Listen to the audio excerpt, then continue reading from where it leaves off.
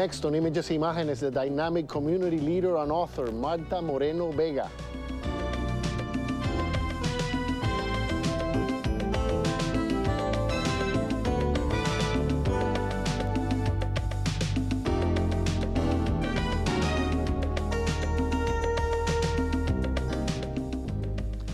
¿Cómo están? I'm Miguel Pérez. Our guest today is a widely recognized Hispanic community leader, inspirational and yet forthright. Her efforts and beliefs in the diversity of America have sprung worldwide conferences in the United States, the Caribbean, and in Africa. She has served as a bridge between U.S. Latinos and African Americans, and between black people and the rest of the world. A tireless worker, she takes pride in bringing recognition to the contributions of black Latinos and Latinas in the Americas. And now she's the author of a book on Santeria.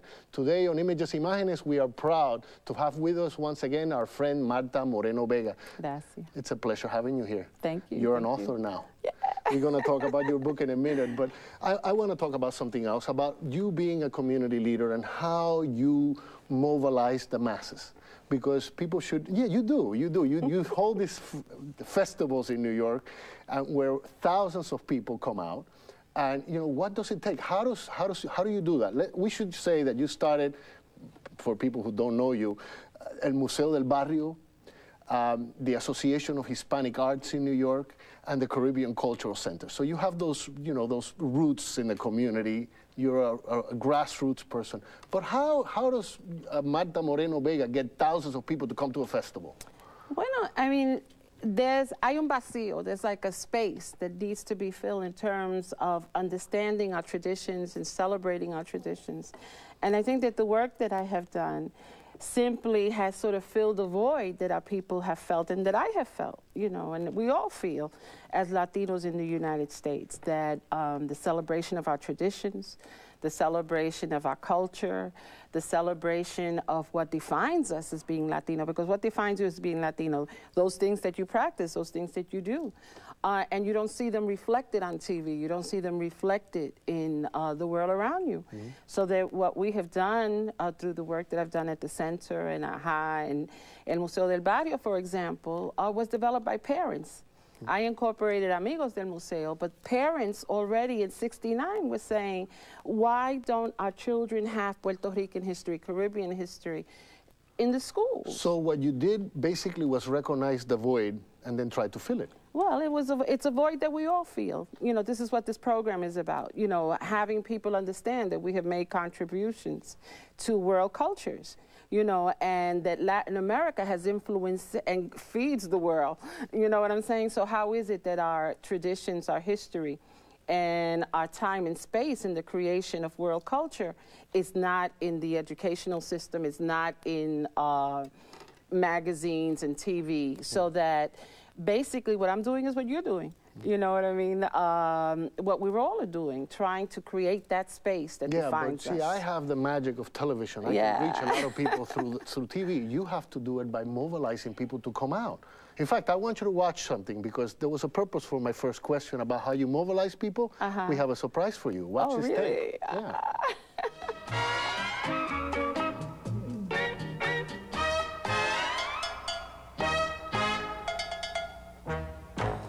Every year, the beauty of the Afro-Caribbean culture comes to life in a carnival atmosphere that attracts thousands of people from different nationalities and backgrounds. They gather to witness the African heritage and music of the Caribbean islands.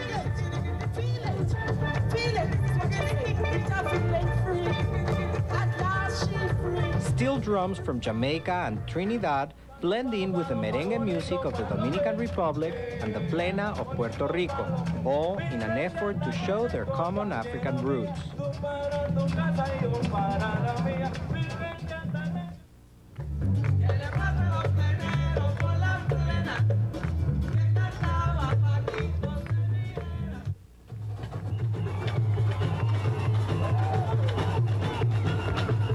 Brazil is present because they share in the joy of the Caribbean experience. During the 1800s, millions of Africans from the Yoruba nation were sent to Brazil and the Caribbean islands as slaves.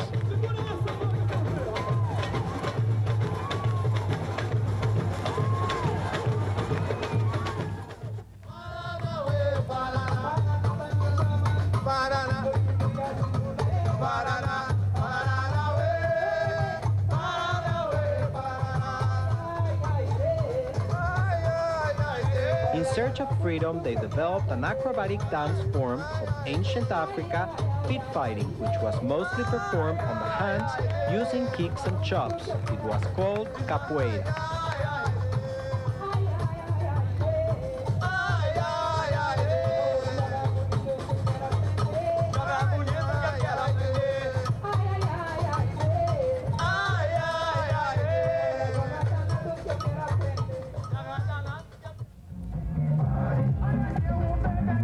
More than 5,000 people attended this festival, creating a sea of humanity and pride.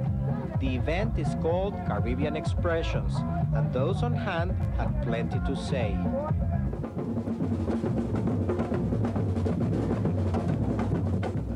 I just have to say it was really great, and we are getting to join and as soon as possible. We are be here every year from now on. It's a beautiful expression of Caribbean expression. I think everybody comes away with a feeling of togetherness, and all of us have all kinds of roots to the Caribbean and everywhere else, and it made a great feeling of togetherness. While many of the participants are grateful of having this carnival, organizing an event of this magnitude is not easy and requires a lot of determination. The woman responsible for its creation is Marta Moreno Vega, a New York-born Puerto Rican who battled the odds and the many who said it cannot be done. Well, that's what we heard, no, I heard all along, you know, at, at the very beginning, that um, because we identify as Puerto Ricans or as Haitians or as Afro-Americans or as Trinidadians, that we would not be able to bring all of these audiences and communities together in being part of an audience or being part of a joint activity.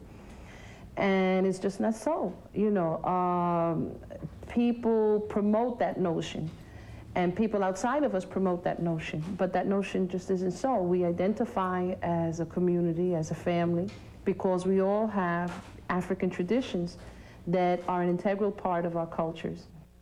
Inspired by her parents and a fellowship grant to study the African influence in the Caribbean, Marta Moreno Vega began to find her roots in the library of renowned historian Arthur Schomburg. That is a treasure. And uh, his concept of bringing people together, networking, exchanging information, uh, was key uh, to not only the development of the Schomburg Library and his collection, but clearly to institutions like ours that are springing from that thought. Besides the religious artworks, the Caribbean Cultural Center also sponsors a street festival where people become familiar with the Afro-Caribbean crafts, displays, jewelry, and foods. Oh, wow. You weren't expecting this, right? No. How does how does it how does it I feel to see yourself ten years ago? Oh my God. this was in the mid 1980s, the Caribbean Expressions uh, Mm-hmm. Festival that you sponsored, uh, the Caribbean Cultural Center, led by you, uh, at Lincoln Center. Mm-hmm. Right. And you had people dancing through the streets of Manhattan.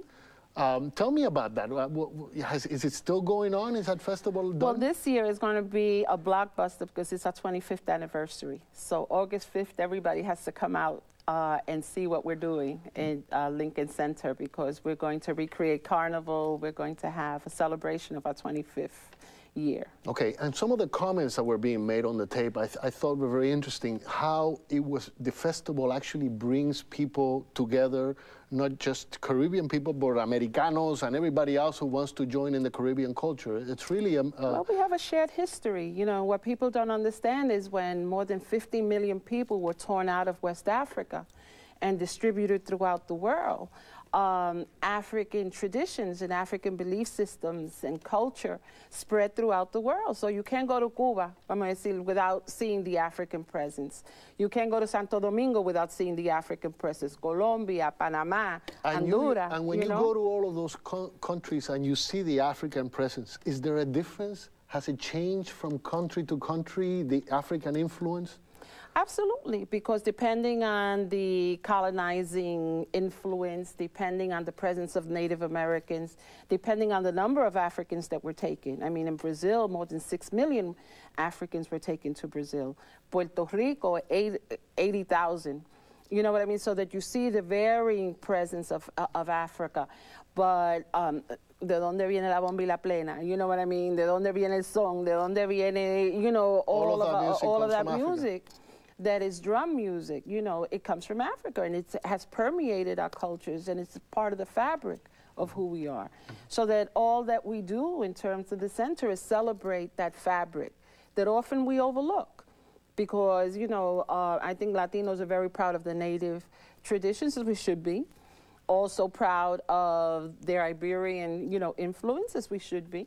But oftentimes the African presence gets put to the side because it's seen as something negative, it's seen as something primitive, it's seen as something backward. Y eso es lo que lo da la salsa que tenemos. You do know you, what I mean? Do, so, you, do you see yourself doing what you've been doing as a continuation uh, of the work of your hero, Arturo Schomburg? Uh, Oh, absolutely. I mean, uh, the work of Arturo Schomburg and Renila Antonetty, the parent, one of the parents that fought to have culture in the school. She said, how can our children learn from Dick and Jane? They need to learn from the heroes and sheroes that brought us here, that made us who we are.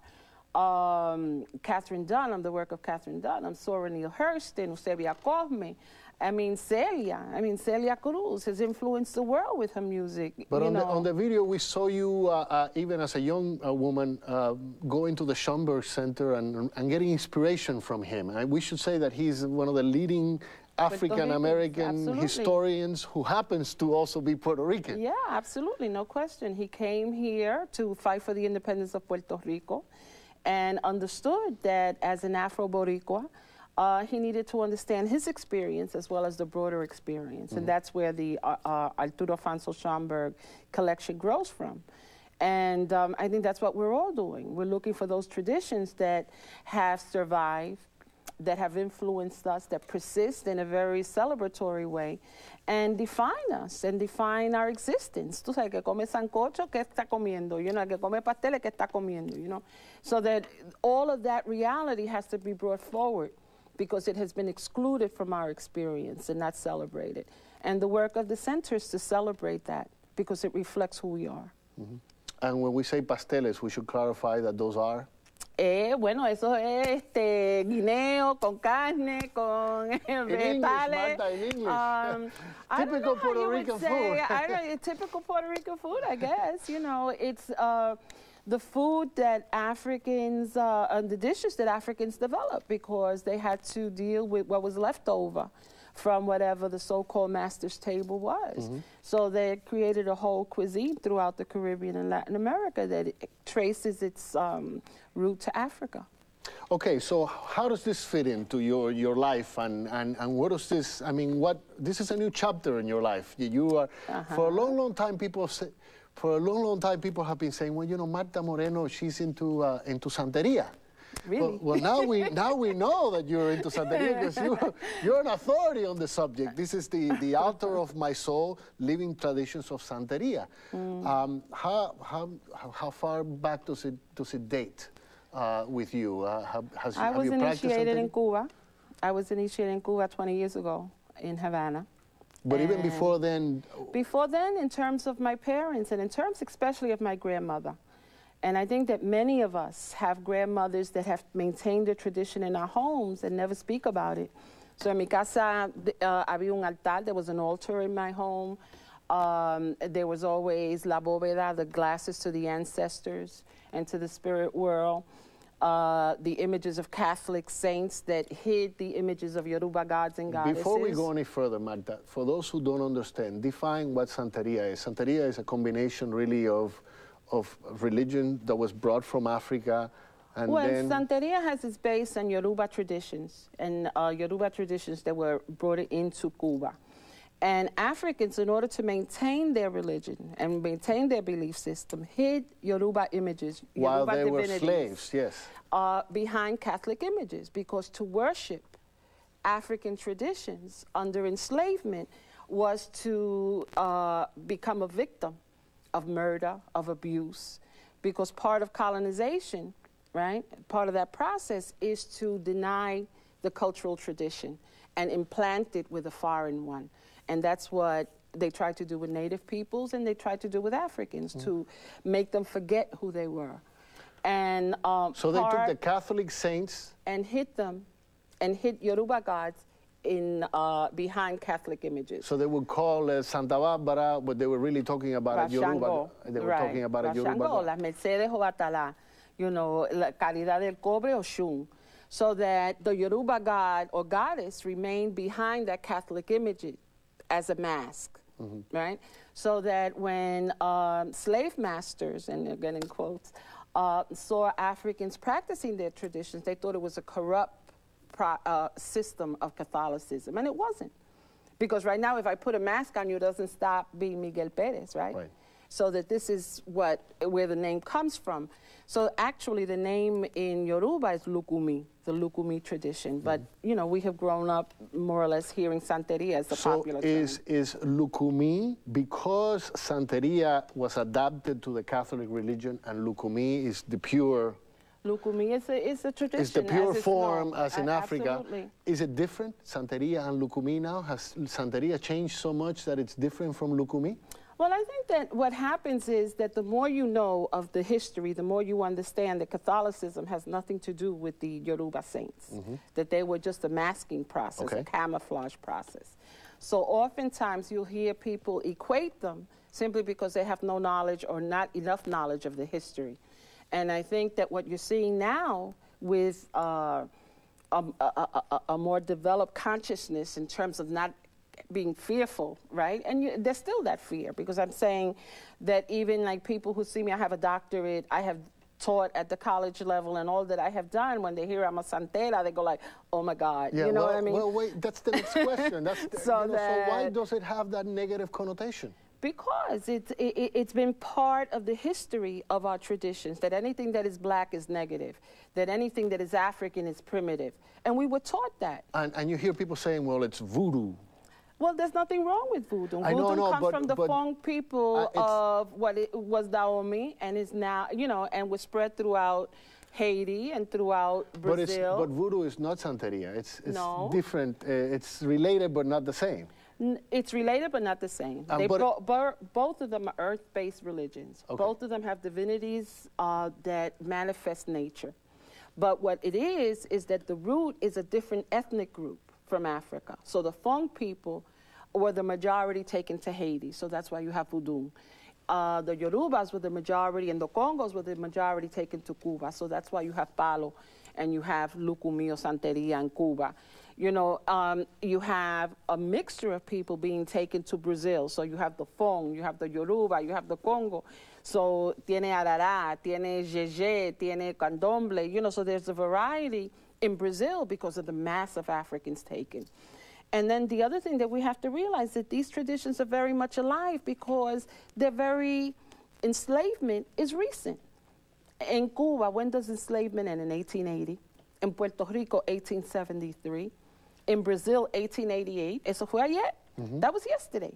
You know what I mean? So that these traditions are very much alive because they are part of our fabric and part of our family's belief system. So what are you attempting to, what were you attempting to do when you wrote this book and what, is, what was the mission that you were trying to accomplish? This is not just a book about Santeria, it's your own personal journey through yeah, Santeria. Well, it started as my um, dissertation.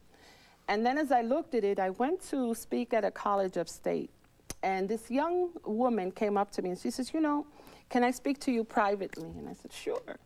And um, she started saying, Well, you know, I understand that you know about African religions and so on.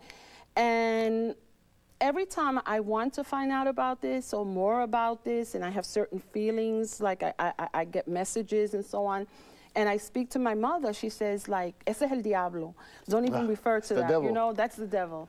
And that hurt me because I think that the gifts that we have and the very specialness that we have and the things that we truly believe in, because when you're sick, then you relate to your espiritismo, you relate to the spirit world and the Lukumi tradition, uh, isn't celebrated. And we're teaching our children to hate the gifts that they have, the sacred gifts that they have. And at that point, I decided that there needed to be a book that spoke about the history and the experience that we have had with African religions. And I guess, you know, like I, it- rather than use somebody else as an example, I use myself. You know, um, I was brought up with espiritismo. I was brought up in el barrio. My grandmother tenía como un altar, tenía un cuarto de santos. She had a, a saint's room and a spirit room. And I helped her fix her altar when I was little, and I didn't know what I was doing. And it's not until later when I become a researcher and start looking at these traditions that I begin to say, like, I had that object in my house. I understand what's going on, mm-hmm. um, you know, now, but I didn't understand it then. And then when I went to Cuba, I mean, it was just a, a revelation in terms of what we have been able to preserve as a people and celebrate. Mm-hmm. Um, there's a passage, there are many passages that I would love for you to read, but there's one in particular in the back cover of the book that I, that, uh, I know you brought your glasses. So yeah, you know that. will you read that for us? Because I think it's beautiful. Thank you. Well, one of the passages in the book, in terms of explaining my initiation, uh, is the following Through initiation into my religion, one is reborn. It is a conscious act of letting go of negative influences that weigh down the spirit, allowing it to soar and embark on a new beginning.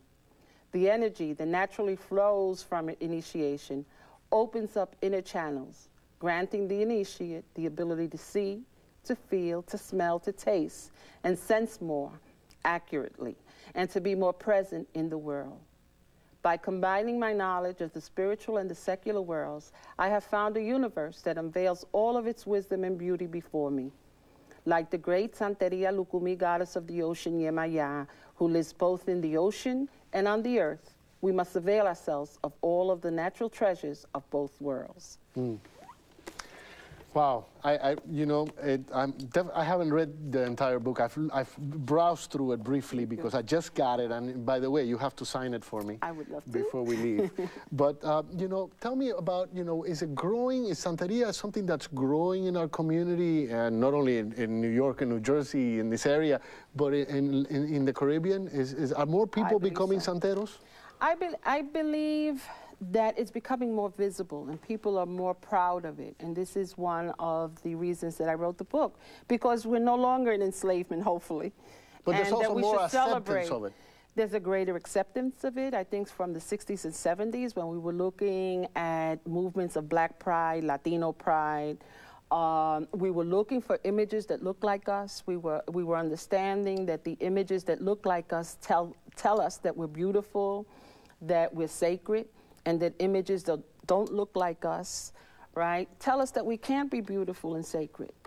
And I think the important thing is, in terms of feeling pride in who you are, is to feel comfortable in your skin. If you don't feel comfortable in your skin, then how can you possibly love your culture and love your traditions, love your grandmother and your mother and your father and your uncles? Because if you don't love who you are, then how can you have pride in all that you bring? And that's what your whole career has been about, in everything that you've been involved, all the way to this book, get, getting black Latinos, Latinos, African Americans comfortable in their skin. I think so. I and, think so. and we do feel more comfortable because of what you've done. I mean, I, I have gone to your festivals. We, we feel um, enlightened, we feel inspired, um, and, and I think that's that's part of. I'm sure this is what this is in this book as well. I mean, and, you know, who knows? I may become a santero after I read this. I, am serious, Marta. You have that influence on people. When when I, I, have seen it in many different festivals and many different events that you that you coordinated. Uh, and again, I'm going back to the very beginning. What does it take to do that? What is in you that brings people together? I don't know. I think eh, I don't think it's me. I think it's that we're all looking to feel comfortable in who we are and to celebrate all those things that we are, you know. And when you see the opportunity to celebrate it, people come. Uh, I don't go to people's houses and knock on the door and say, "Come to our festival," you know. People come because they want to come. People are motivated to come because they're seeing reflected themselves. And I think that that's what the center does, you know, and if I'm a vehicle for that, it's a good thing. You know, I don't see myself as a community leader. That's why I laugh because I don't think that consciously ever I feel that. I think that we do what we do because we know it's right. We do what we do because we have children. Yeah, but a we leader, have grandchildren. A leader, a leader you know? is someone who has a following, and you definitely have a following. Well, I don't. You know, I, I again, um, I think that we come to the world with a purpose. I, I firmly believe that. And as a parent and as a grandparent, because I wasn't a grandparent in, that film, um, I think that it's very important for us to leave something behind that our children can continue to manifest, right? And in doing that for my children and grandchildren, I hope it affects your children. And I know that what you do, you hope affects the broader community. Because you know that when you leave, your child is going to be in a community that should nurture them. Mm-hmm. And you would hope that that legacy continues. And that's why we do what we do. Well, I thank you for being here, and I hope you keep doing what you've been doing for many, many more years to come. And thank the book, you. again, is The Altar of My Soul, The Living Traditions of Santeria by Marta Moreno Vega. We're proud of you. Thank you. Images Thank you. We're proud of each other. thank, you, thank you very much for being here. And uh, thank you. we'll see you next week on another edition of Images Imágenes. Hasta pronto.